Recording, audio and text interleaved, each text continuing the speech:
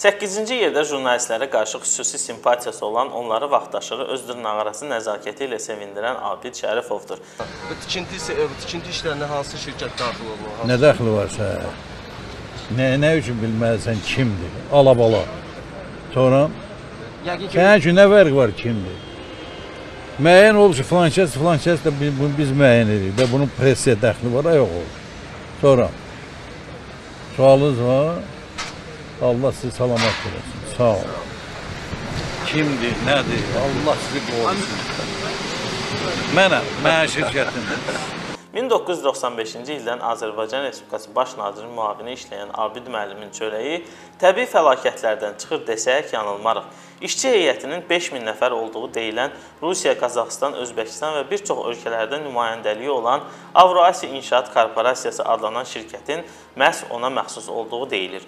İnfrastruktur obyektlərinin tikintisi ilə məşğul olan bu şirkətin səhmlərinin 12,15%-i Abid müəllimin xanımına məxsusdur. Şirkətin aktivləri 275 milyon manatdan artıqdır. 2012-ci ildə 3 mərtəbəli villasının yanmasından heç tükü tərpənməyən Abid müəllimin sahib olduğu iddia edilən obyektlər bunlardır. Optimet klinikası, Şəki Park istirahət mərkəzi, Marxal meşəsində otel biznesi, çox sayda mənzillər, villalar və sair və ilaxır. Abid müəllim, a sənin yeyim. Bu qədər obyekti nə edirsən axı? Abid müəllimlə bağlı son qalmaqal isə Bakı Ələt yolunun tikintisi ilə bağlı olub. Belə ki, ona məxsus olan şirkətin işçilərinə əmək haqqlarının verilməməsinə görə işçilər etiraz aksiyası keçirmişdilər. Sonradan məlum olmuşdu ki, şirkətin 232,7 milyon manat borcu var imiş. 23 ildir ki, baş nazirin müavini vəzifəsində çalışan 78 yaşlı Abid Şərifova bu ilin 21 aprelində həbəs deyib bəst dedilər. مناديب و...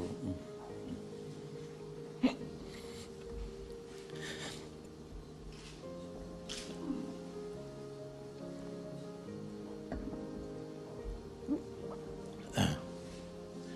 الله رحمة للسنة